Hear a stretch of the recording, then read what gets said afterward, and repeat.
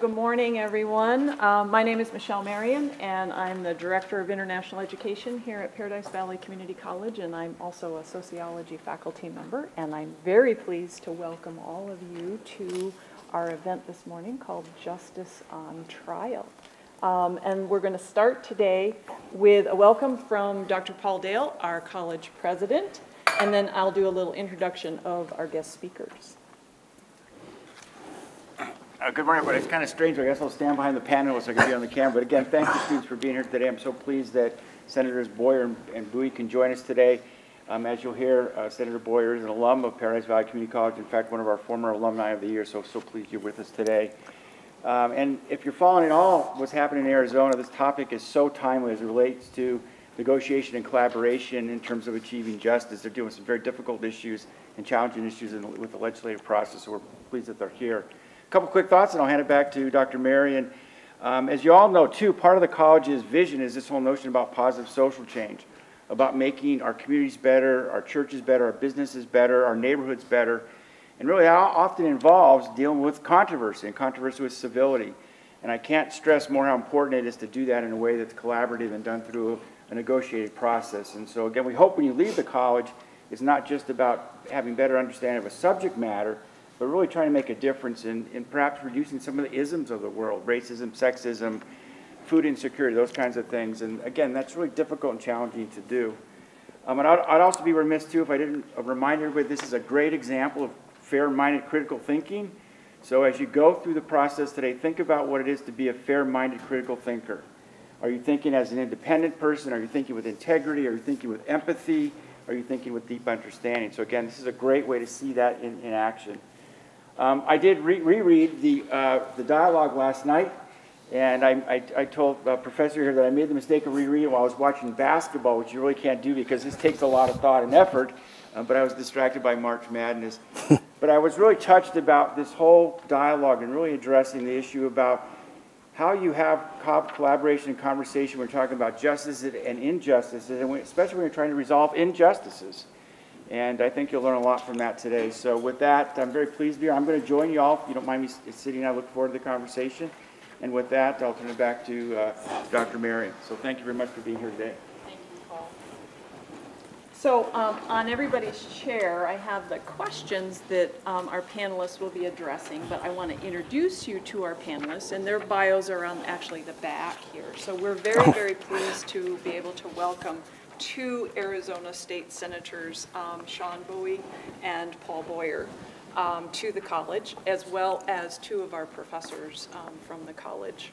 Um, So Sean Bowie um, is currently in his sixth year of um, representing Legislative District um, 18 in the state senate. And he is also one of the faculty members at ASU, so he's also a teacher. Um, He has a master's degree in public policy and management from Carnegie Mellon University and is currently pursuing an executive MBA from the W.P. Carey um, School of Business at ASU. Um, Paul Boyer, um, I'm very pleased to say, is one of our professors, um, and he is an alum of Paradise Valley Community College. So um, this is kind of the trajectory that many of you may actually um, pursue. Um, Paul is in his 10th year at the state legislature, um, and these last four years as a state senator representing the Glendale and North Phoenix um, district. Um, He's taught literature for a number of years. He's teaching communications for us here at the college. And he too is pursuing a second master's degree. Um, And I'm very pleased to acknowledge that he passed his Greek exams um, last fall, which I got the email and I was very pleased for him because I can't even imagine um, that undertaking. Um, But he is doing a um, master's degree in humanities from the University of Dallas um, and hopes to be completed um, by next summer. Um, Dr. Kelly Fitzsimmons Burton um, is our philosophy um, and, uh, and religious studies professor here at the college. Um, And she too is an alumni of the college. You seeing a theme here? Um, And she's been teaching with us uh, full-time um, since 2003. Um, She is uh, quite accomplished. Um, She's finished several years ago um, her PhD um, at Faulkner University and has completed all the coursework for a PhD in religious studies at Arizona State University.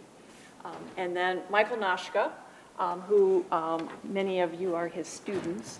Um, I'm very pleased to introduce, he's a professor of English um, here at the college. He has a PhD from ASU in Renaissance English, and he and I actually hired in as full-time faculty. We are in our sixth year as full-time faculty, so he is, he's one of my peers um, here at the college. Um, and uh, he does some very, very interesting things and has, was taking students to a Shakespeare event a couple of weeks ago. Um, So I'm going to turn it over to our moderators, um, Kelly and Michael, and we will go from there. All right, thank you. Well, um, you all have the you all have the questions in front of you. I have no idea where the conversation will go, but I can tell you where it's going to start. We'll start with number one, um, gentlemen. I don't know which one of you wants to address it first, but um, when I was reading, I think for me it was very much trying to place a historical text like this in terms of cultural relevance now. So, I mean, obviously, some of the footnotes here, like in terms of our current cancel culture moment, or you know, some of the issues with CRT, um, or even notions of the justice system in America today. Um, you know, I guess on one level, it's why are we reading this? Yeah, so I, I think that, and, and it's always a great day when, in my opinion, when we can talk about a Socratic dialogue. So the Crito, it's, it's a dialogue not many people have read. I, I assume some of you have, which is fantastic, and that we're even able to talk about it today. I, think it's important because I think what's in here are timeless truths. I think there are some ideas in here that, that still resonate with us today, and that's why we're still talking about it. For example, what's the role of the majority? What good are they for? Should we listen to the majority, or should we maybe pursue a, a different path, or just something that maybe someone hasn't thought of? Uh, should one always obey uh, the laws, if, especially if one thinks that it's unjust? One could argue that Socrates, just for setting up the context, he's just been convicted and he's been sentenced to death for uh, what some would argue are trumped up charges that he didn't believe in the gods of the state and he was, um, what was it? What was the other charge? Corrupting Was youth. corrupting the youth. Thank you. Yes. Yeah. And so here he is, though, his friend uh, who gets to the jail and says, "Hey, let's go. I've got uh, enough money to bribe the the sycophants or the uh, the informers. Let's get out of here." And he actually had the money because he's already bribed the, the guard to, to get in. That's why he was there so early.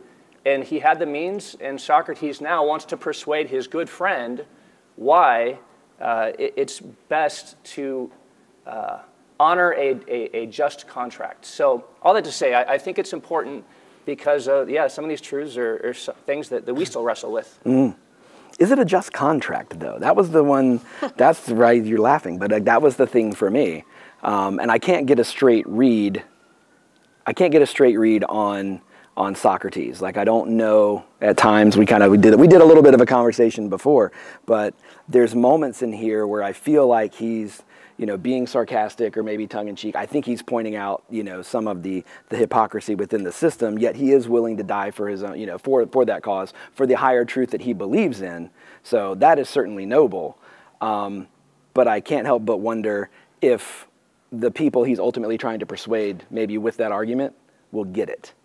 Yeah, so th- this is where Socrates embodies the laws, as if the laws are speaking to, to him and to Crito, where he says, uh, if, if one was, if a private citizen was to nullify the laws at will, then doesn't that destroy the, the, the, the city that one lives in? And so I do think that there's something to that. And so for an Athenian youth, Right. they would have to take a test, uh, I believe around the age of 17 or 18, to see if they want to actually become an Athenian citizen. Right. And at any point, Socrates could have said, nope, I don't want to. I, would rather be a Thessalian or a Corinthian or, or somewhere, somewhere else, become a citizen somewhere, somewhere else. He never left the city. Uh, he had family. He had children there. He has a young uh, child right now. So in other words, the, the argument of the laws are, well, Socrates, you, you, you were raised under us. Your, your parents got married here. um, how could it be just by, by violating uh, the laws as we've set forth? I f- well, I feel like we're having the conversation, but I, so the interesting thing, you're going to jump in? I feel like this Jump in. leads into my question. Good, go. Because we're talking about the arguments, but what are the arguments? So, and students, I want you to think about this too if you've read it. What are the arguments that Socrates presents, and are they still sound? Are they sound at all? Or, I don't know. I, th- I thought they were sound. Showing my bias. What arguments did Socrates present as reasons he should not uh, go against justice, You mean go against the, the law? the law? The law. Yeah. And I feel like, I don't remember how it was translated here in the English. Was it capital L law? It probably was. You know, I don't remember. I mean, not that that's, you know, necessarily a sticking point, but well, I mean, he, he's saying uh, to this young man, if you can convince me otherwise, I'll go with you. Uh, and so he presents his case why he can't do that. So I was just wondering if we can talk about what is Socrates' case. Yeah, they are lowercase l. Okay. Lowercase l. Yeah, and that's it at 50, uh, 50 alpha or 50a. Um, there, there's also another argument that Socrates provides, and that's the laws of the underworld or in Hades wouldn't Right. accept him if he were to violate their cousins or you know the laws, uh, the man-made laws here Mm. uh, on Earth. And that's another thing that he's considering. He doesn't want to go before what he would you know consider you know the judge Right. uh, with a guilty conscience. Yeah. Right. Which is interesting because the charges are, right, you've sort of corrupted the youth and moved them away from, to some degree, like our gods, right, if I'm remembering uh, that. But then he closes his argument with sort of an appeal to doing what's right by singular God, but God, at least in this translation. Yeah, yeah, that's right. Um, right. So, so there is that. Um, but I don't know. There's still that moment where, um, like, if if the system itself was truly just, right? I mean, if we're gonna if we're gonna, and I get where he's coming from, but if you're having these sort of like absolute, you know, moments, and you're like, I'm going to do what's absolutely right, virtuous, true, good. I will uphold the law even when the law is against me. Then well, how great is the system when clearly there's bribery everywhere, right? There, I mean, there's so much wrong with the system, and yet he's still willing to die for it. It says a lot about him, for sure. And I will grant you that yes, he could have at any moment leave, he left, right? He could have, he could have, he could have gone away. He could have chosen not to be an Athenian citizen. That is in here. Um, but if I read anachronistically, if I read as a modern, right, which I am, I also can't help but wonder um, how much that actually holds up. Because when Socrates is speaking for the state, he said, Hey, we did all this. We trained you, we raised you up. You could have at any moment chosen to leave, right? You could have been a Theban or whatever. You could have done these things. You chose to stay. Um, you could have just picked up and moved. How many of you can just pick up and move? What are you going to do for a job? Where are you going to go? Like there's there's some socioeconomic things that are throughout this text. It starts with money. Let's bribe some people, right? And throughout this whole thing, it's like, man, you could leave anytime you want. Okay, where are you going to get a job? How are you going to make a living? What is your family going to do? Like, it's, it's great to say that on paper. Can you just pick up and move to any state? I can't. So there's that. I feel like I killed the room, but like there's that moment where I feel like there is another piece, though, and it's um, what he's been doing for 70 years. There's a context of his life. I do think he Yes. has been making arguments his whole life, and he's saying either you obey the law or you persuade otherwise. And I think he has been trying to persuade otherwise all his life. No, I agree, and I think that's the moment where I think I think he points out beautifully and rhetorically, right, just the brokenness of the system. Yeah. And then he says, "But I'm still willing to die for this. I'm still willing to to yield to this higher truth." And of course, he believes, you know, in the afterlife and these other things. I mean, it's a lot. It would be a lot easier to have a different argument if you were, say, you know, atheist. If you weren't committed to feeling like there was going to be some form of judgment, right? But that's not where he's coming from. I mean, the, the, final, the final move by Plato here reminded me. There's a great piece by, Kelly will know this, but by Heidegger uh, that, he, that was actually published after he died. Um, the rules were the interview couldn't be published until after the fact. It was in, uh, in the German uh, publication, Der Spiegel, but it's called Only a God Can Save Us. And it's very interesting that the guy who was going to like trump all Western metaphysics and like deconstruct or destruct Western philosophy never got out of that camp and he still remained resolutely metaphysical. And then by the time he's going to die, he's still making these kind of arguments. Huh. Yeah, it's fascinating. Um, I mean, it's a bit more. Um, one might even say like naturalistic. I mean, it's very concerned about like the environment and this notion of like spirit and other thing. Not unlike what Plato's doing, right? Like this is not your sort of Western Christianity, um, right, or or anything Abrahamic, but um, but there is a ring of truth here for sure. I just I, I can't quite pin how I want to read Socrates here. I, I commend him for being willing to die for the cause. I can't help but wonder, like being willing to die for a system that is in some ways rigged, but because you believe in the higher truth, is commendable. I wonder how many of the masses that they talked greatly about would actually understand the move that he made. Now remember, okay, so there were 500 jurors that voted to convict Socrates of death. He only lost, I think, 30 votes. Yeah. I mean, Yeah. it, it could, really could have went the other Sure. way, and it didn't. So yeah, okay. So in, in a society like this, where maybe the system is broken or at least fragmented, Hmm? um, something that you had brought up, persuade or obey. So th- those are the two options that Socrates presents to to Crito, either persuade or obey. And I wondered, is there a third option, or is that it? That's a good good question. Is there a third option? Hmm. Now we're going to think and be quiet.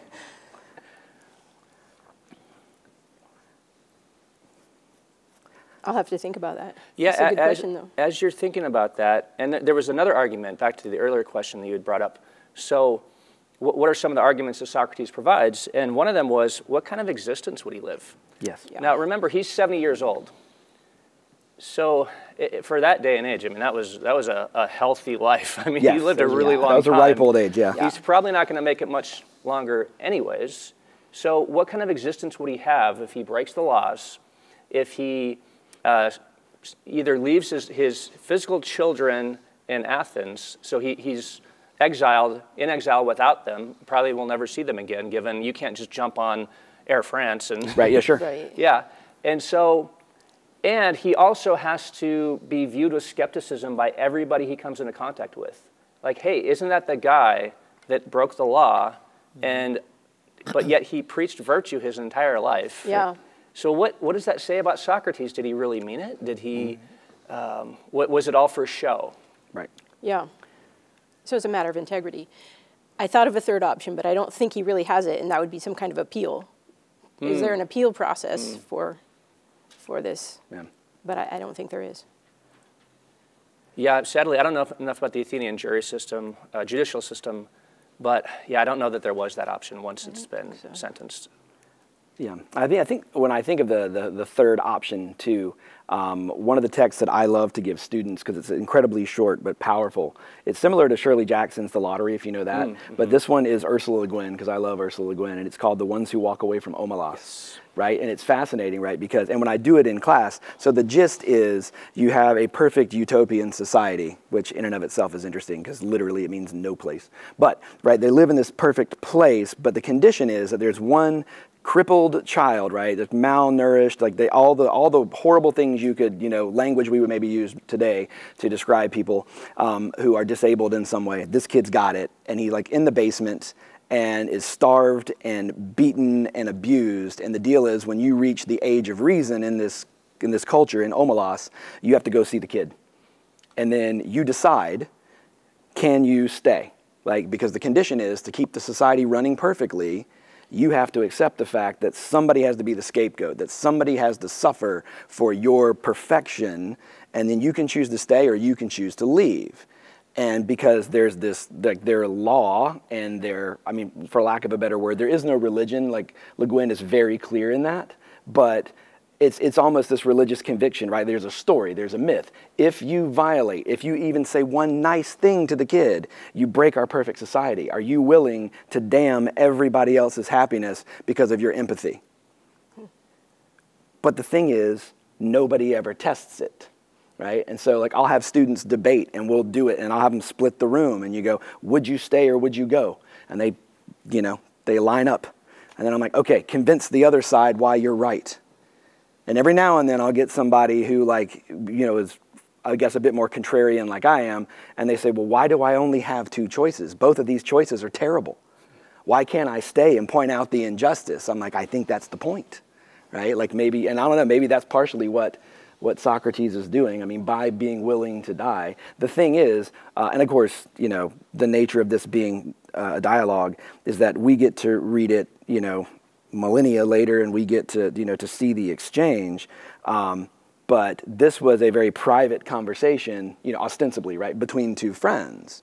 So nobody else got to hear the persuasive logic of Socrates. He's just going to go die. And I mean, to me, part of that is the tragedy. Yes, he like he's willing. You know, he has these amazing convictions. But had it not been captured by Plato, then he would have just been a guy that you know died for what he believes in, and maybe he would be you know a footnote in history. I mean, if if Whitehead has the right of it, then you know all Western philosophy is a history of, or a series of footnotes to Plato. So maybe there's that. Yeah, but yet in, in Socrates' last words that, that we know of, I mean, other than the Phaedo, which is a recounting of his last day, but he spends his time uh, trying to persuade his friend to, to listen to him. And I just find that so endearing. I really do. I mean, he cares so much for his clearly, in my opinion, uh, mistaken friend who, who has focused on the wrong priorities, who's focused on money and. Hmm? Um, reputation. Yes. He cares more what the majority think about him.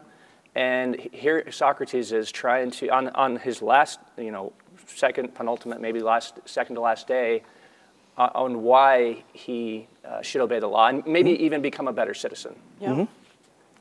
And live the good life. I mean, he's like the, not just the obeying the law, but he's the exemplar of the good life. Yeah. And if he went against that whole way of life, it would be hypocrisy, right? Yeah, that's right. Is that good life though distinctly Athenian? No. Right? You don't think so? It's human. I mean, there's. I will grant you some of that. I will yield. I will yield some of that. Yes, um, but there's also. I mean, as I'm reading and in my notes, right? I mean, the the ultimate, at least in our version, you know, the the translator says, "Hey, the the big deal is that his friend is trying to say, your options are essentially exile or death, right? And and Socrates chooses death because exile would be horrible. And again, you know, he's 70 and, and there's all these things. But part of my note was like, well, is death better than exile? And then really to me, this is because your identity is so tied to where you're from, to your place. I mean, we, we know this. Um, well, I don't know. Arizona, is interesting to me because most people I meet are not from Arizona, right? We're all, we're all imports. Um, there are some native Phoenicians. I feel like y'all are unicorns, right? Um, but, but the thing is, you know, you're so deeply tied to where you're from. It shapes your identity. And while there are certain universal truths, this notion of what it means to be a citizen and what it means to do, like that is totally Athenian programming. Like that's what it is. Okay. I think you're right about the citizenship, but about the good life, I think there's something more universal, and that's why the dialogues appeal to us. Because there's something in there for us. And that's this higher life. And maybe that's the other option. It's not life, uh, physical life, or physical death. There's a quality of life that Socrates was after, and I think possibly achieved. I mean, he definitely had a good run. Yeah, I mean, I mean, until the end. And, and it says, at, and that the good life, the beautiful life, and the just life are the same. Yeah. Does that still hold or not? And he said, certainly it does. And so, what do you mean by uh, this is a human experience, not just an Athenian one? Well, I mean, the good, uh, and I'm going to borrow from, from Aristotle a little bit, but the good for humans is based on human nature. And so, if there's such a thing as human nature, then the good is for all humans. The good life is for all humans. And are they the same, the beautiful and the just as well? Um, I think they're interrelated. Yeah. I do. I don't think you can separate them. there's always that stick. I love Aristotle, but there's also that sticking point about natural slavery, right? Oh, Like, no, yeah, so you. he's you wrong about a lot of well, stuff. I know, but you can't be like, yes, good, virtuous beauty, but then yes, women are like kind of not really fully people sometimes, and other people are born naturally to be conditioned as slaves. Well, maybe Like, that's the Athenian. It's to- there. It is, right? again. Yes, But totally. we don't have to just say it's this or this. We can say there's this element of of their times, and then there's this element that's also universal. Oh, absolutely. And clearly, finances doesn't necessarily get you there because this thing is so deeply entrenched and worried about that, right? Um, and that's the thing that, that Socrates is trying to convince his, his friend about in many other ways. Um, but, you know, he also, he's so smart and so old that, right? I mean, he, he walks the poor guy, right? Like right into essentially a rhetorical trap, right? Because he's smarter than him. He's wise. Of course he is. Um, you know, and who knows how much of this is just Plato, right, being kind to his teacher, right? But um, I definitely think there there are moments for us that are relevant. Um, but I don't know, like I, I things that I didn't expect to find when I went back to reread um, were there again. Um, but I still can't shake the notion of whether or not um, enough people would get it. Not that it matters, right? I mean, if you're going to die for what you believe, and what you believe is just right and true, then he's all in, and I can certainly commend that. But if part of it was also to live a life as an example, and like this was the final teaching move, the final professorial move of like the genius, you know, philosopher who's going to die by virtue or for virtue, um, how many people actually got it? In his day or the 2,000 plus years Yeah. since then? I mean, I suppose either, but I mean, that's that's the. Uh, I mean, I think we can definitely get things out of it today, but I mean, uh, I don't know that Socrates was thinking that far ahead. You know what I mean? Why not? I mean, maybe he was. I don't know. Um, but but I do wonder, especially because so much of this was initially about the masses and the problems of you know mass thinking, you know, uh, and why that doesn't work. How many people would actually get the message he was trying to convey as like maybe his ultimate last act? Like, would people get it? And like, you can't fully answer that. Like, you know, Yeah. it's it's a bit of a moot point to even ask the question, but it's still there and it nags me. Well, what is the getting it? I mean, what, what ultimately does Socrates want?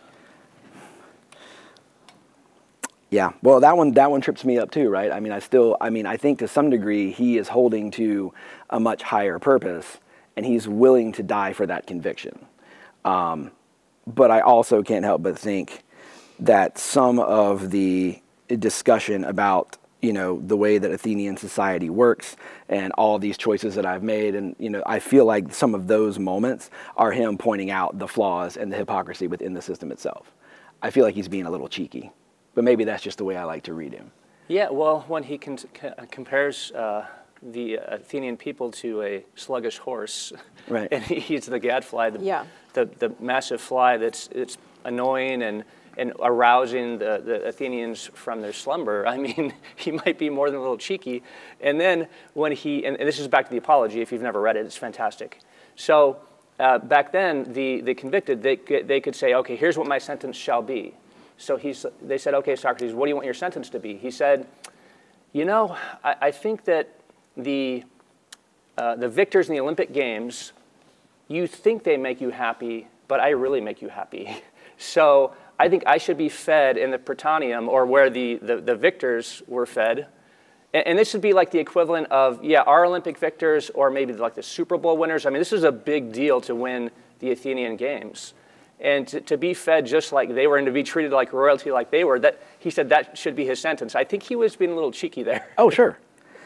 Um, I mean, I think the, the issue with any of these old texts, right, is that you you can never fully know. I mean, there's always uh, that's what makes these so rich and alive, right? I mean, you can debate them. There are certainly universal truths. There are d- there are deeper concepts. There are certainly you know religious notions or you know universal ideas in here, um, and that's what makes them lasting.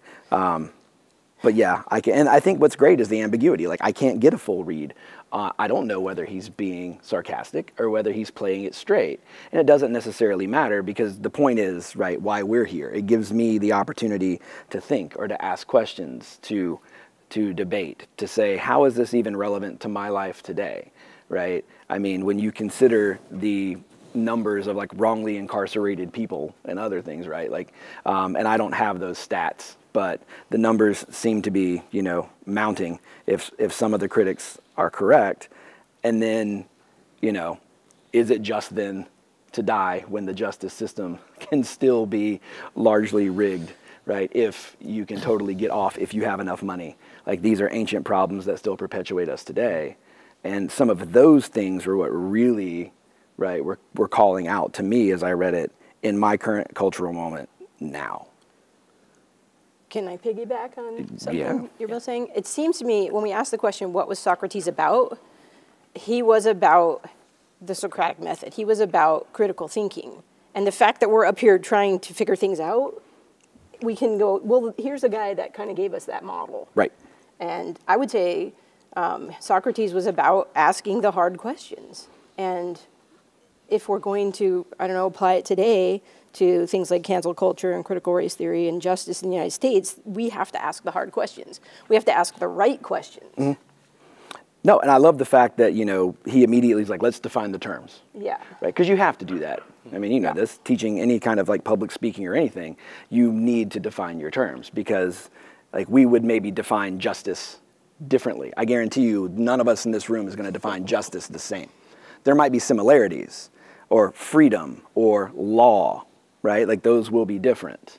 But we could do the Socrates thing Yeah. and say, are you sure that's what it means? Because when I it here this way, it doesn't Yeah. seem to be that. No, absolutely. Because I mean, so much of it. This is why I think so much argument when you really want to get at things. Some of the best philosophers were like really, I mean, like pseudo linguists, right? Like, let's go back to the language and figured out how we tried to capture this in language so that we could understand it. Like, what does this actually mean, and why do we, you know, why do we adhere to that? Like, what is law? What is just? Is it just to be? Because I mean, again, they're like, you could have walked away at any time. Like, but could he though? Right? Like on paper, yes, but could he though? Right? I mean, that in itself seems to have like, and, and I can't tell because he's totally speaking the way, right? Socrates is the mouthpiece for Athens in his own dialogue, right? He's, he's speaking for the state, capital S. Um, and I don't know whether he fully believes it or whether he's saying what he believes they will say. Does that make sense? Yeah, for sure. And so um, while they may say, you could have left at any time, you could have taken your kids at any time and gone over here, you could have chosen to do this.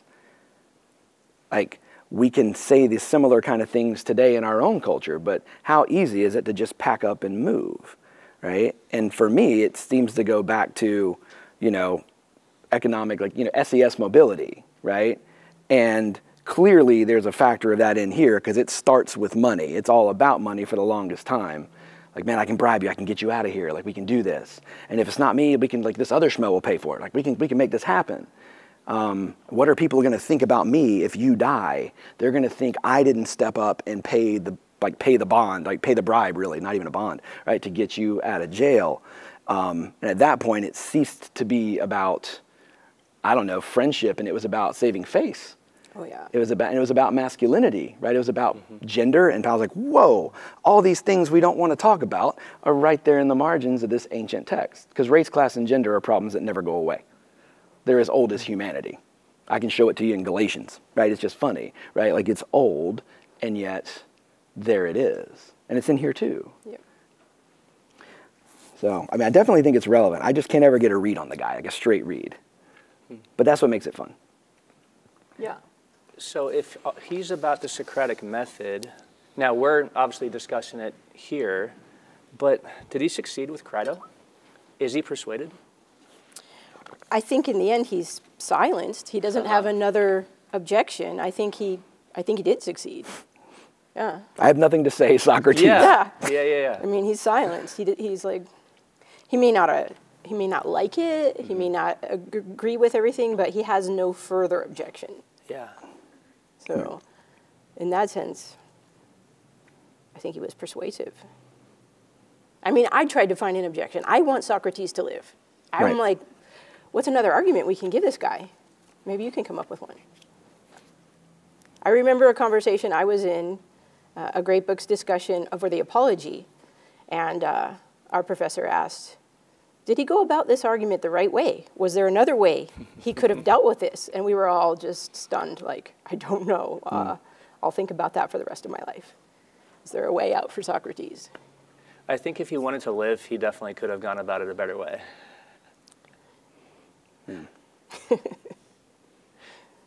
Well, if I may, let me try to connect this to modern day. I'll be more comfortable in that space.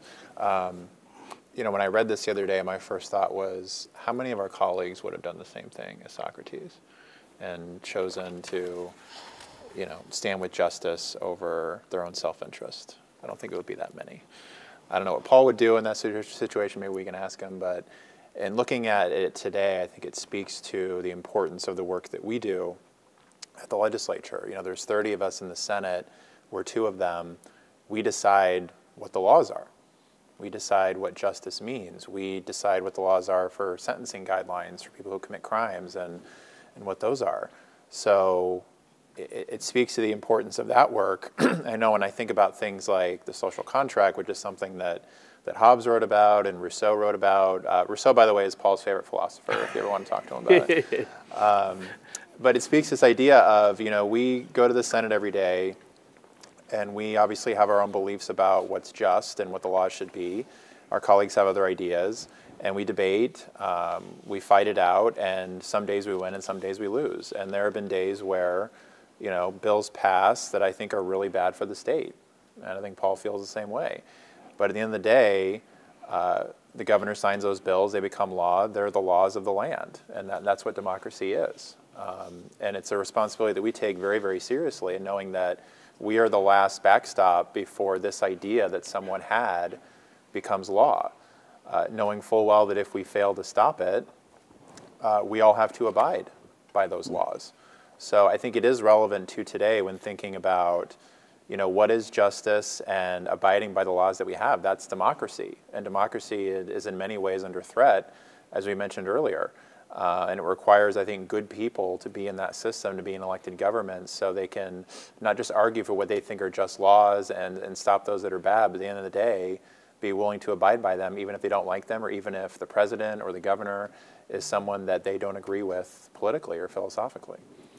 Yeah, so for those of you who don't know, Sean and I are of different parties, but we actually we talk to each other all the time, and, and we get along. Still don't, possible, yeah. It is, and for the record, I despise yourself. I know. But we, and we don't always agree on, on policy, but Sean will come to my office. He's the only person at the Capitol, by the way, that can just come in without knocking. I still knock, but He still knocks, yeah.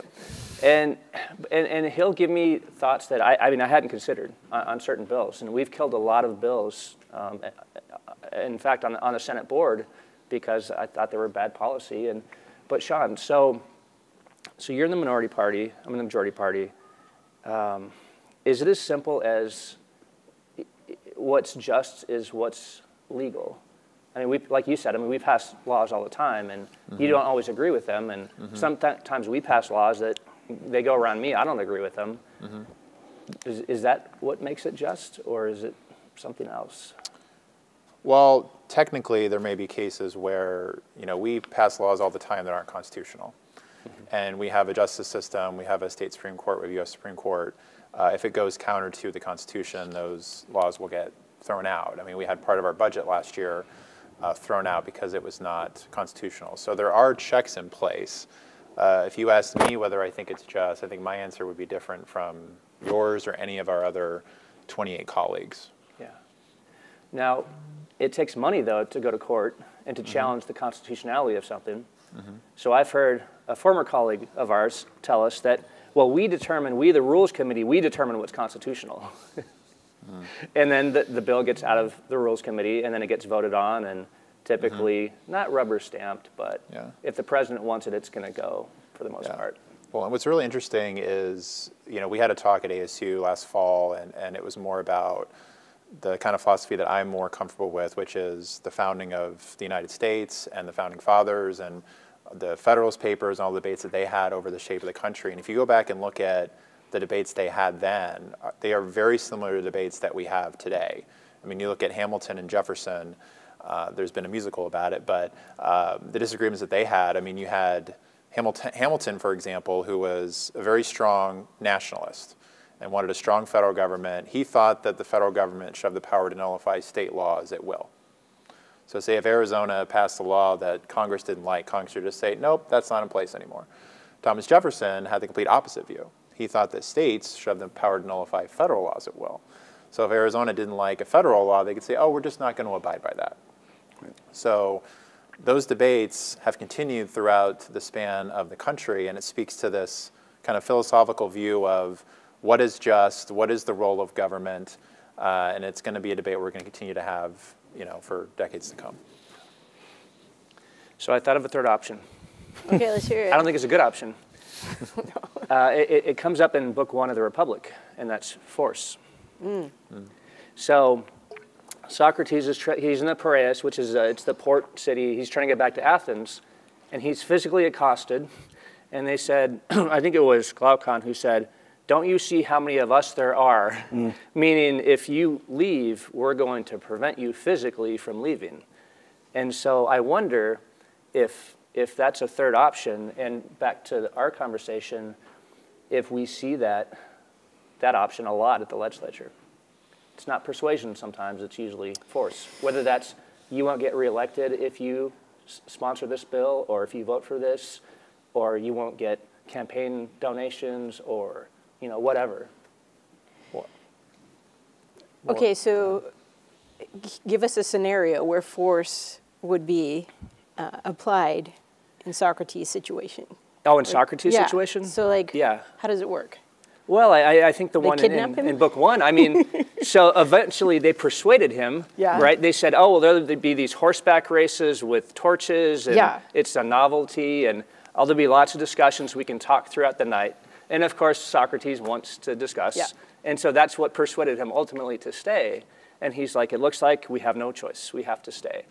But I, I do think that, yeah, that, that ultimately uh, i- i- is a good example, but also the force of the state. Well, and Paul, to bring up a relevant example that we dealt with last year, you know, we had the 2020 election, and uh, some folks were upset that they did not, did not win that election, uh, not just at the national level, but here in Arizona. And we were dealing with debates at the Capitol uh, about arresting the county board of supervisors, and, and that would be a show of force. And you helped us with that, and, and that measure failed by one vote. If you had voted yes, then the Senate would have been allowed to just go and arrest Yeah. the county board of supervisors. So I think that's a relevant example we can talk about. And I can give you another one. Uh, breaking news. So Sean and I are working on a grand bargain on education funding. State on- budget. Yeah. For the state budget. Um, what my party and the governor wants, which is a, a flat tax at 2.5% for, for everybody. And I think we can get there, but I was told uh, by a confidant that if I keep pushing this, all my bills are going to die in the House by, by several members. And so that's. You get threatened every year. I do get threatened every year. yeah. I mean, one of the things that I was eh, noting, you know, as the ideas come, is I think the beautiful way that at least our democratic system works is that you can still, you know, amend or replace unjust laws, right? I mean, because I, I think, uh, you know, even in in Socrates' time, like maybe there is he's willing to die for the cause, but clearly there's some some things where the system is flawed, right? You see it in the, again the notions to the bribery and everything else. But I can't help but go back and look. You know, since the opening question dealt with some of the things we're dealing with today, and you look at things like, you know, will will legally tally slaves as not quite a whole person, but right, and then we get rid of that and we're like, oh, well then we'll have you know Jim Crow and other things, right? There's there's things that you know I think when a law is unjust, um, then you can you can push back. And what I would have liked to have seen, and may, and I don't know, maybe Socrates felt like he was doing it in his own way, was speaking to the injustice, right? Because I think that's the that's the only way, right, to affect change. Um, and I feel like so much of it, uh, granted, this is totally also my wheelhouse, but how much of what we do is related to language, right? Is related to stories. They're powerful.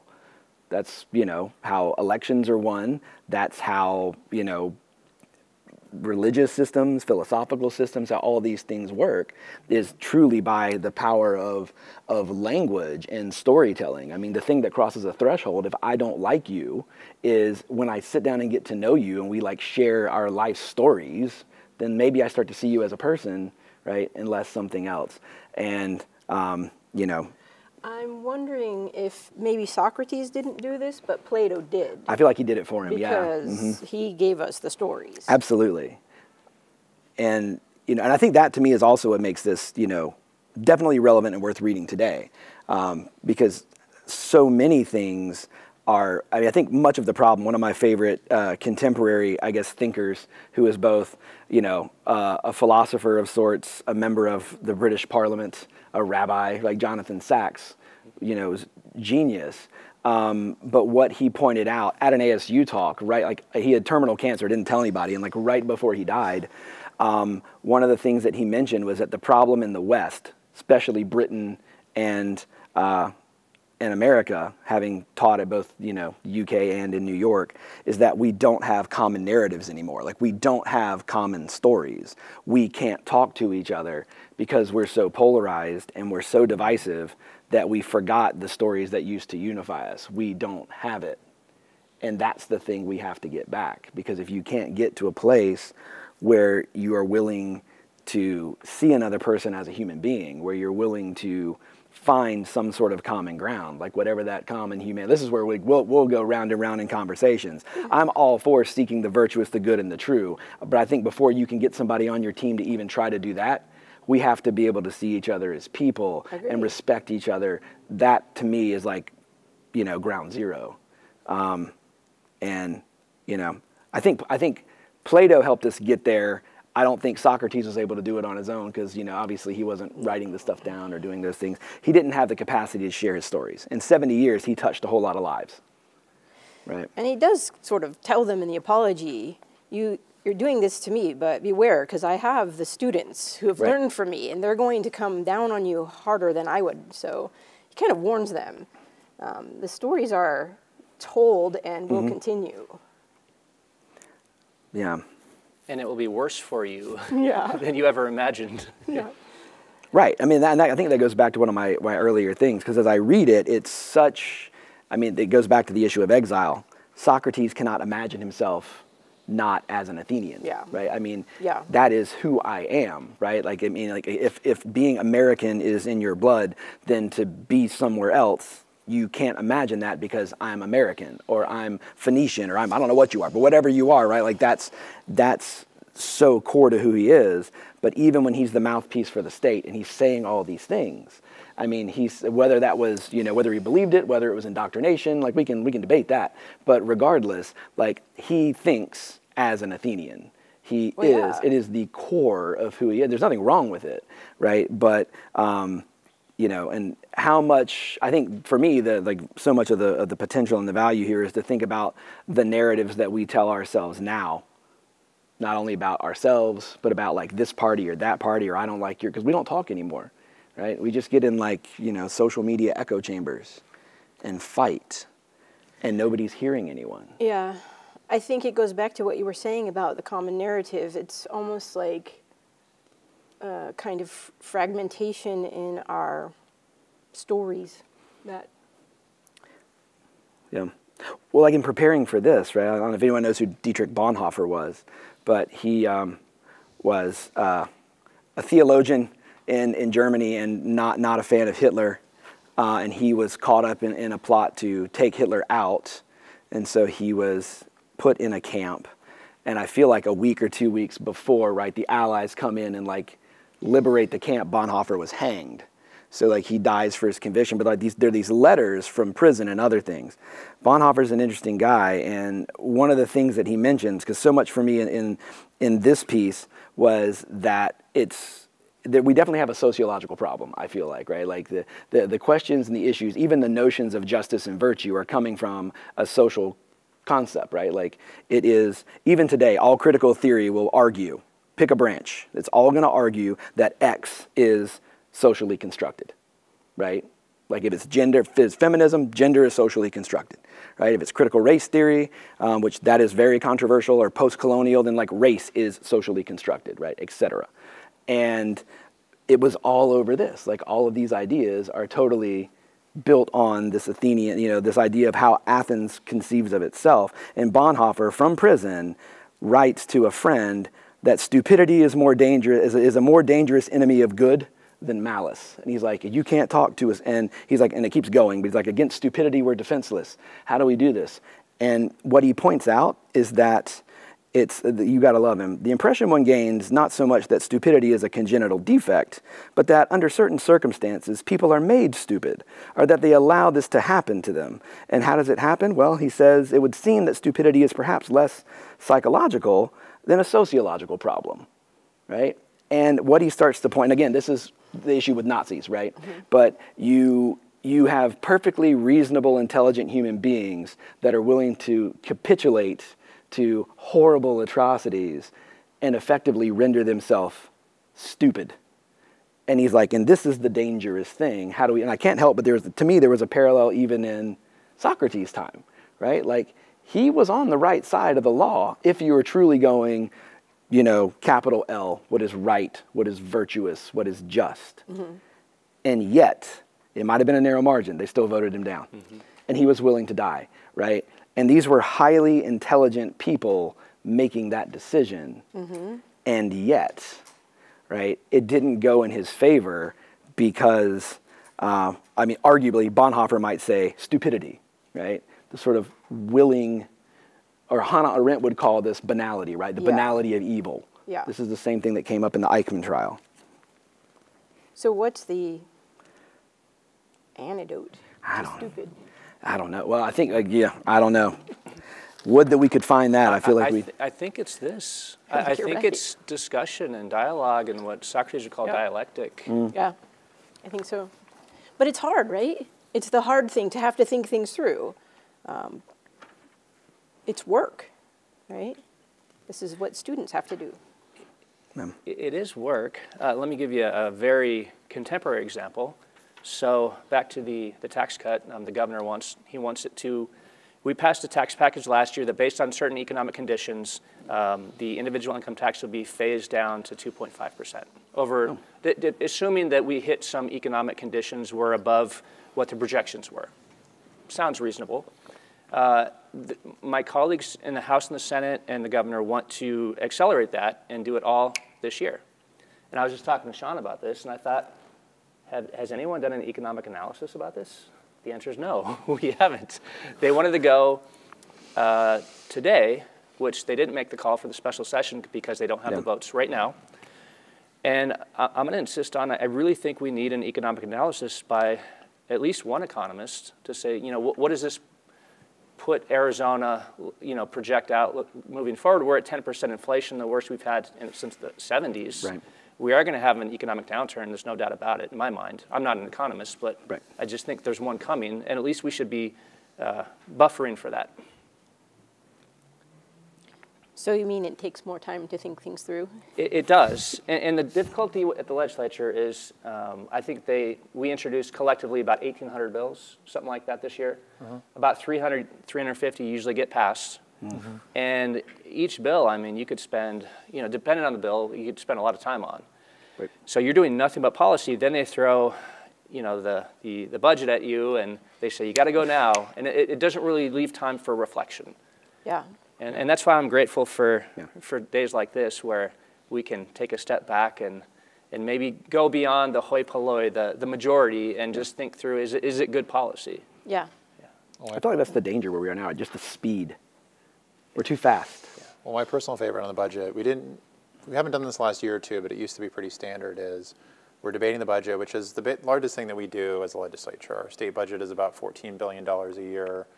Half of that funding goes to K-12. It funds our universities and prisons and roads. I mean, it's a lot. So it, it should require a lot of due diligence and a lot of work and economic studies and all of that.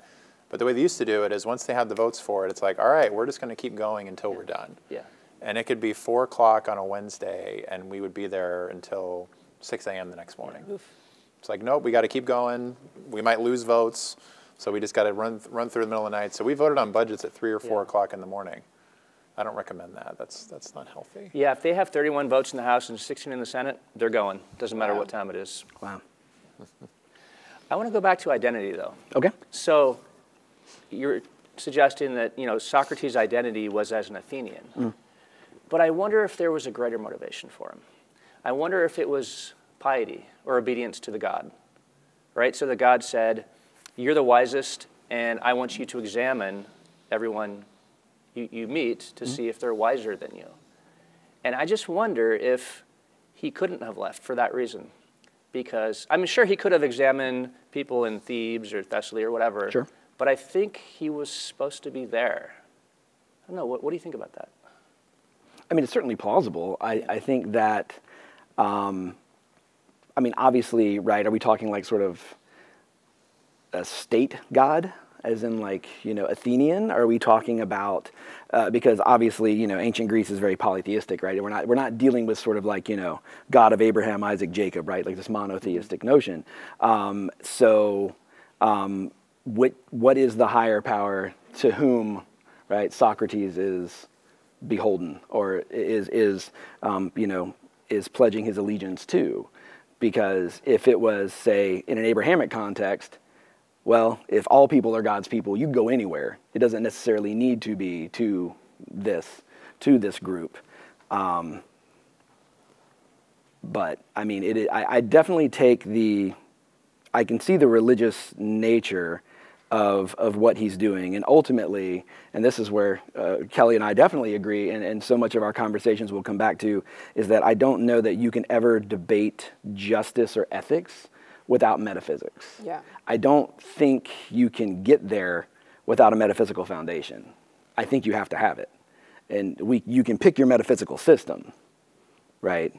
But it can't, I don't think you can have a notion of something greater if all you are basing it on is like physical, tangible, only like the material reality world that we create, right? So like metaphysics just basically is like anything sort of beyond the physical. But think more like spiritual here, I guess is a way to couch Okay, it. can I bridge this discussion a little bit? Yeah. It seems like Socrates' metaphysical commitments may have been different than the Athenians, and that's why they're saying you're bringing in You're corrupting the youth. Foreign gods. Yeah. false gods. So maybe that's uh, where he is differing from the uh, Athenian what, philosophical commitments. I don't even remember what the chart. What, what was the corrupting thing? Do you you Corrupting probably? the youth. The- corrupting the youth and teaching strange gods. But what or did gods that- not sanctioned by the state. I, I think But what that- does that mean? I think that meant his don't inner Right. voice, His his, inner his voice. daimon that, that- Right. that would tell him what not to do. It never Right. told him what to do, but Yeah. what not to do. Because those are those are convenient charges, but like it's sort of like, you know, we're we're gonna go, you know, persecute one of the bishops in, in, in Massachusetts, right, and go burn a witch, right? You just you just call them out, but like, what does it mean corrupting the youth and like false gods? You know what I mean? Because like it, they never, I, and that was the thing about um, this particular moment in history. I I don't feel like they ever fully defined it. I you read in that time period more than I do. It's a move away from tradition, I think. Mm-hmm. It seems to me that the, the parents were in charge of passing on the tradition to the children. Right. And Socrates is asking questions of the children. And maybe the children went home and asked questions of the parents. Hey, mom, dad, Socrates said this, and what do you think? And the parents are like, whoa, whoa, whoa. Our authority is being questioned here. Right. Yeah, yeah, that's right. Yeah, I mean, there's there's a great, uh, well, any, honestly, anything by James Baldwin, read it because it'll blow your mind. Um, but there's a great uh, piece that he did. I want to say in '63 or '64. And my students read it this semester, but it's called "A Talk to Teachers," and he's really thinking about the nature of you know uh, where we were, sort of civil rights era, right, like in America. But what he starts to point out is that so much of the problem um, of education is that we don't want an educated citizenry, right? Because what happens is when you're an educated citizen, you're dangerous because you ask questions. And this is Socrates' thing, right? Like he taught people to ask questions. And the thing is, I mean, when you get enough people around, from a religious context, it's easy. You can call it original sin or whatever, right? Um, uh, you know, Hobbes. Hobbes is a bit more, uh, you know, uh, worried, right, when you start reading Leviathan. Um, but ultimately, the gist is you put enough people in a room together, you got to find some way for them to get on and not kill each other. Because too many people is a mixture for some danger, right? So, how are you going to manage that?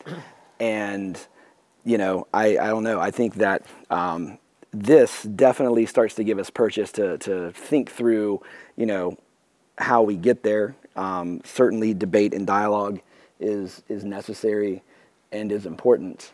Um, but there does seem to be, you know, the fundamental flaw of like any kind of government is that corruption seems to be baked into the cake because people right? Right, you, you, right. I mean, that's the thing. You can you can have as much virtue and honor and dignity, justice. You can have all these capital T truths and ethics and all these things, but at some point, you have to negotiate that with a mass of people, and people, which while they have a, an amazing capacity for good, can totally screw things up, right? And that history shows us this time and again. Right. And isn't this what the law is about?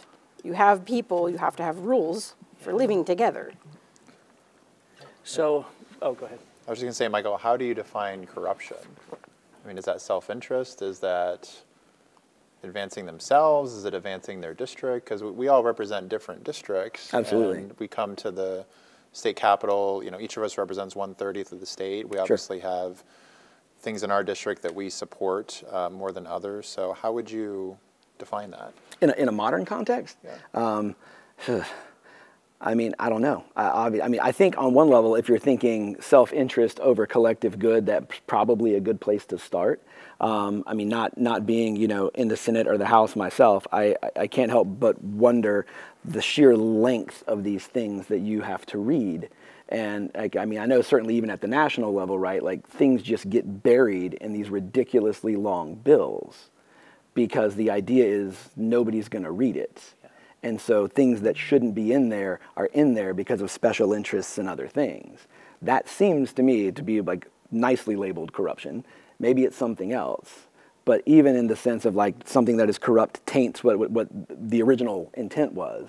Like, you know, if, if we're talking about, I don't know, um, what was the thing recently? Didn't, the, didn't part of the budget get voted down because something else was in there that Oh, wasn't quite budget related? Yeah. Um, and again, it's like, why is that there? I mean, if the whole point is to be completely transparent, completely open, and honest, so that we can make the right choice, but then 400 pages in, something gets hidden in a subclause. Why? Well, because you know how the system works, and you know nobody's going to read all that. And so I don't even know how you catch it. Like, do you like machine read it? How do you catch all that? Like, that is so fast. We have speed readers. Okay. Go ahead.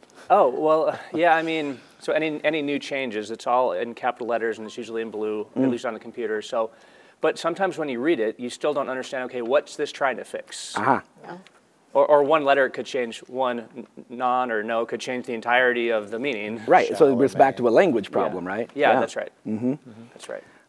So, yeah, I, I, I think I do think that part of the you know the open dialogue, the discussion, the willingness to come together and do the tough thinking, is the place to begin. Can I take a shot at what Sean was asking about corruption? If we go back to Socrates, he's talking about the good life. So it seems like whatever's opposite the good life would be corruption, in the dialogue at least. And it seems like the good life is what is a source of unity for a people group. So we have to agree, yes, we think this is the good life, and, and our laws are for preserving that, and we're living together with that in mind. Corruption would be whatever is against that. But isn't that socially constructed? It's either socially constructed or rationally constructed. I'll let you figure figure Mm. Right. out how you want to do it. Because again, right, if you're if you're in this like sort of ancient Greek, and again, the ancient world was rife with with these kind of issues, um, and slavery then was different than slavery now. But even just make a case of that in our current moment, um, where was the eudaimonic life for the slave? Right. I mean, you can. That that's the thing. That's the sticking point. I hear you. Right. I hear you socially, but as a human being, can the slave find the good? Let's say the slave heard Socrates talking.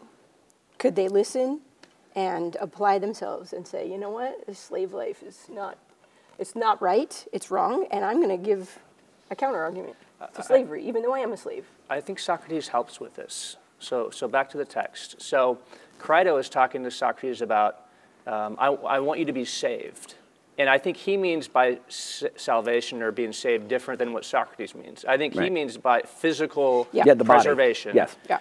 So then Socrates says, would that, and, and there, oh, I'm sorry, let me back- back up. So Crito says we, we should care what the majority think because they, they're capable of the greatest of evils. Right. And Socrates says, would that they were, because if they were capable of the greatest evils, they'd also be capable of the greatest good. Yeah. But as of right now, they do things haphazardly or randomly, and they can't make a man either wise or foolish. Right. And so I think what that suggests, and I, I don't know enough about the, the slavery situation in Athens, but that for Socrates at least, even if they kill him, that's still not the greatest of evils. Yeah. Because for him, I think the converse, of course, of, of uh, foolishness is, is wisdom. Yeah. Mm. And they can't take that from him, no Yep. matter what they do to him, physically or otherwise.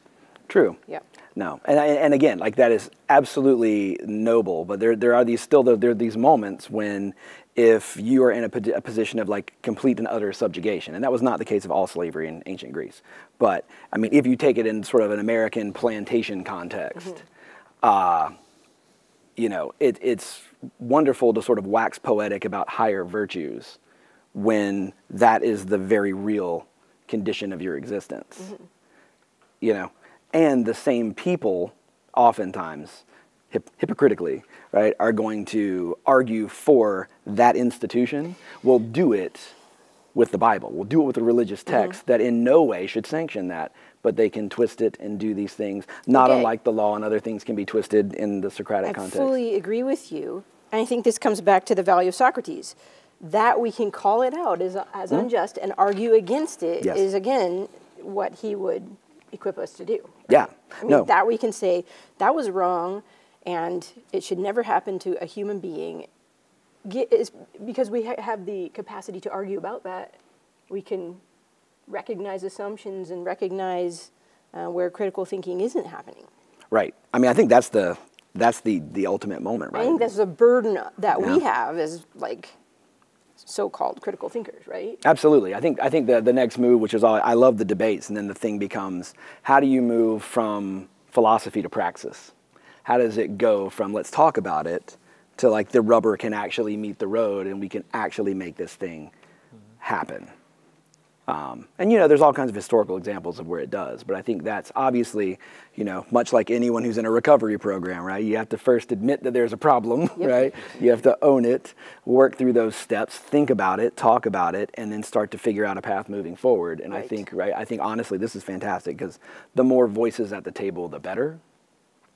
Right? The more opinions, the more diversity. That's a buzzword we love to throw around, but oftentimes diversity is not as diverse as it should be right?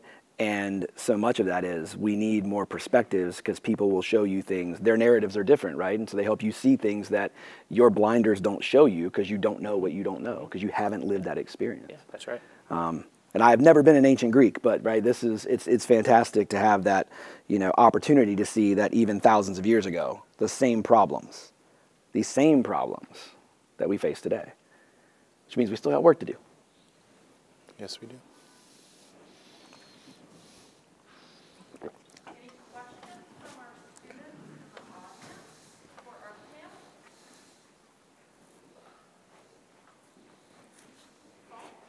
I don't want to jump on a student's uh, platform, but first of all, thank you, this was a great dialogue. But I just, do- I want you just to be aware that like, the legislature, there's really not a super majority. It's almost like one vote can trip it one way or the other. And the party that has power defines public good and justice for our state. And so that's why it's important you all vote in terms of supporting that. So I guess my question to the two senators real quickly is, you know, the, the crux of this article is about dialogue, it's about having a conversation about difficult things. And so if one party can define public good or justice by just one vote, right, in many cases, is there dialogue and debate that really occurs that's authentic and genuine to try to persuade them? Um, because, you know, my welfare is defined by, uh, uh, really kind of, in some cases, just one vote in the legislature. So does this, is there a space for that? And is, it- is it authentic, going back to what, what our faculty said? You're the majority, so I'll let you start. There's not enough of it, I will say that. Even, even within the majority party, I will tell you, there's not enough authentic debate. I, I wish there was more of it.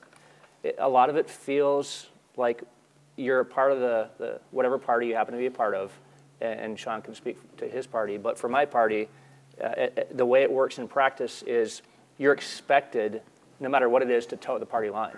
And that's why there was such anger at me when we ended up killing, what was it, 14 bills on the board last One week? day, yeah. In one day.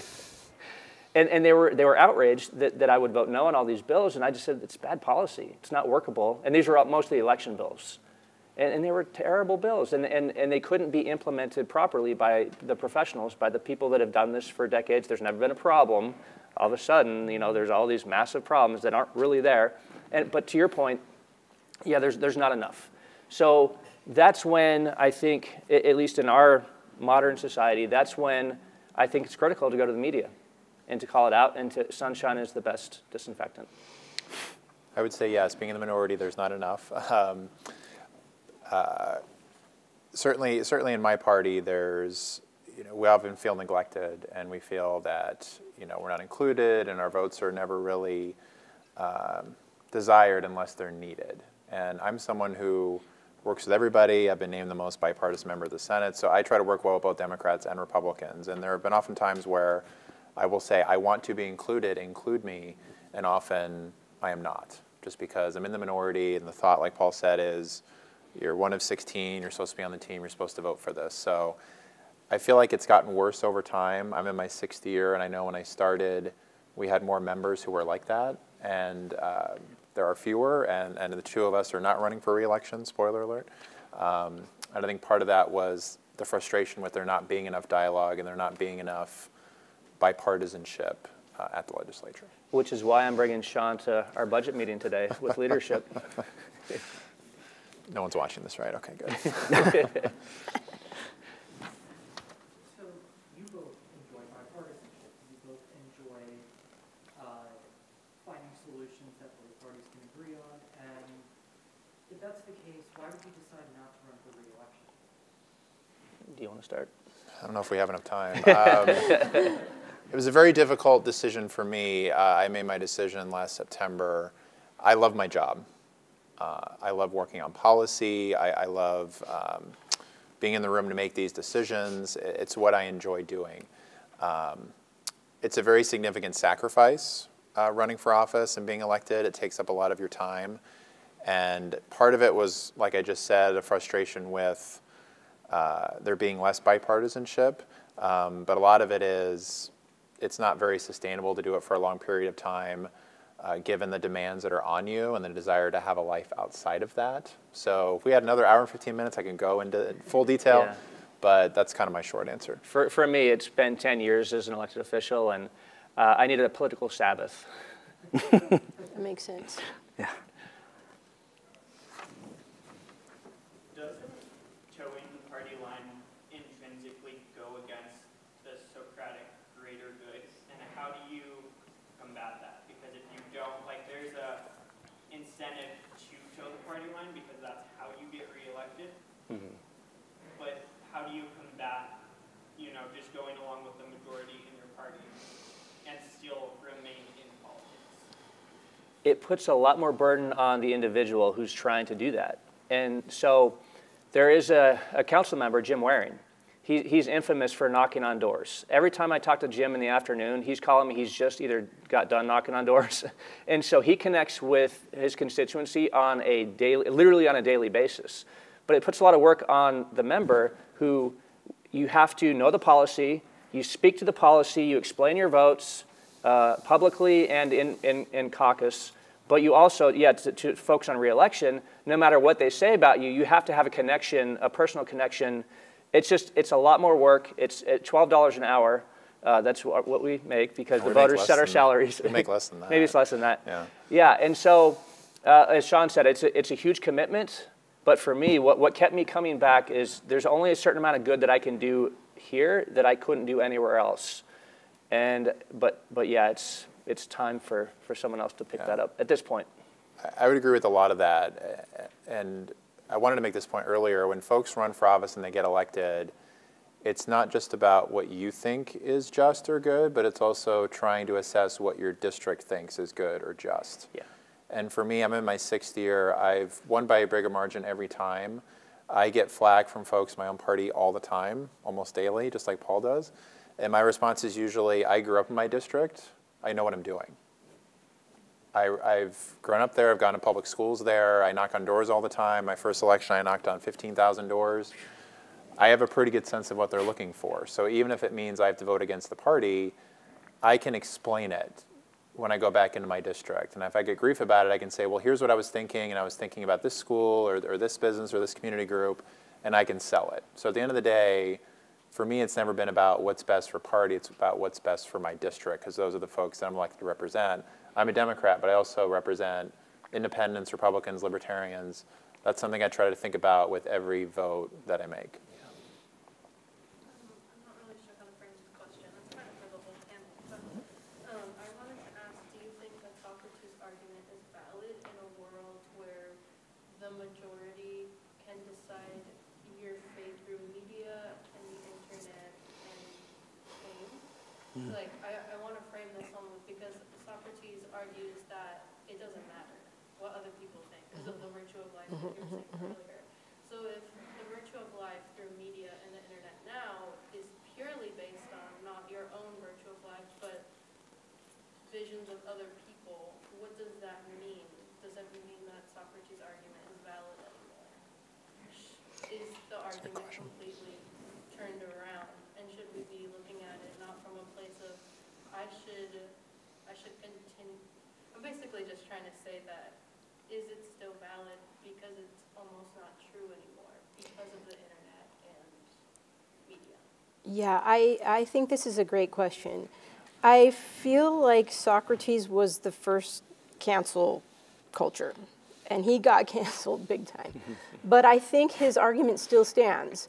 Um, I think he wants, uh, he wants his students, I, I don't think he'd call them his students, but his students to think for themselves, to ask the hard questions.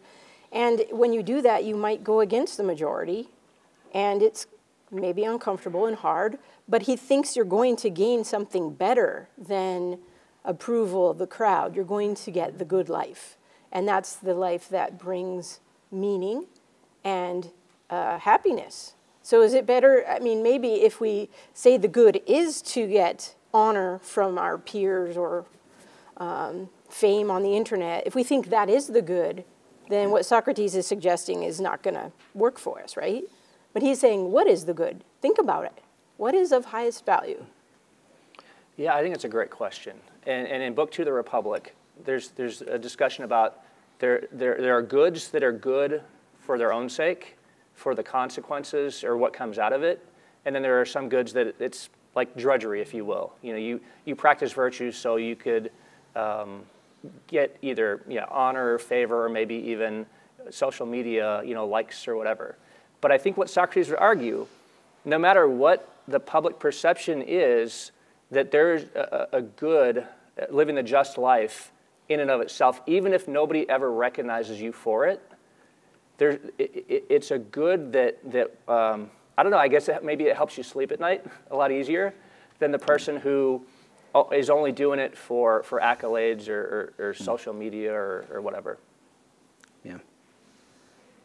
Just a follow-up question to that, because it made me think. So, for people who are celebrities, or even you guys as senators, who are viewed by the public on a daily basis, and your sense of privacy is kind of closed off because of mm-hmm. media and the internet, do you still some think stories on that. that it's valid to not care about the majority, or is it,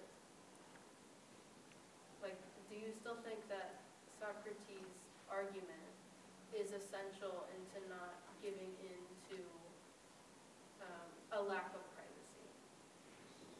You, you, could, you could talk about that. Yeah, so I- I do think that when I present something, if I have a conviction that this is the best policy, I don't care if the governor's staff is mad at me or my leadership is mad at me or, or, or I'm the only no vote on a particular issue. But if, if I've reasoned through and thought through the issue and, and I know with conviction that I'm doing what's best for the state, then I can take all of it and they can say whatever things they want about me. And there might be a public narrative that, well, like last year, uh, when I voted no on uh, jailing the, the county board of supervisors for following the law, but there's a narrative out there that, well, I, I, was for a fraudulent election and I didn't care about election integrity, and at least with my party, the, the loud folks in my party. And, and granted, it was difficult. Um, my wife and I, we had to leave our home for a few nights and take our, our young son with us, and that was, that was unsettling.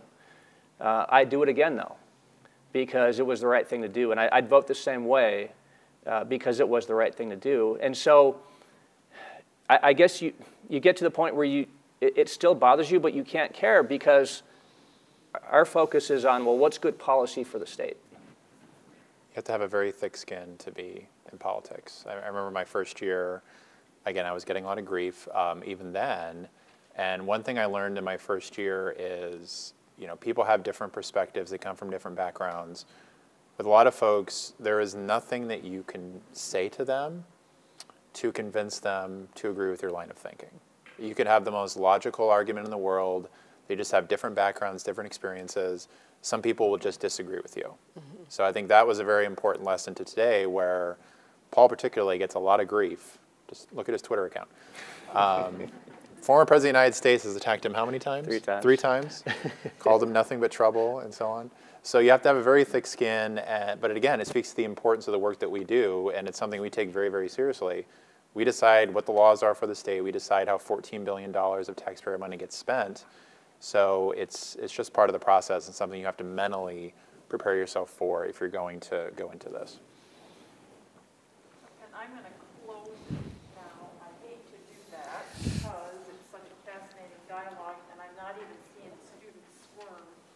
But I'm beginning to squirm because I have a 10:30, and I'm suspecting that many of you too. I do. So please join me in thanking our panelists. Mm-hmm. Thank you. Thank you.